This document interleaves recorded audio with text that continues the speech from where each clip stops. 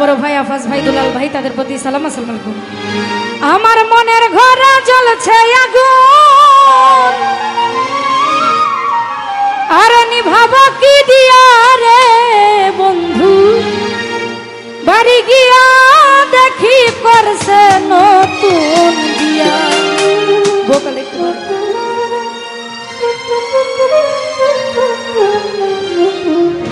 রে, বলিব কই যাইয়া